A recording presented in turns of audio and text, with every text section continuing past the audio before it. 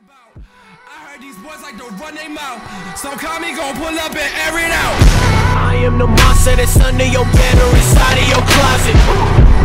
Feel like a pimple, cause when you don't want me, I'll be in your face fucking popping.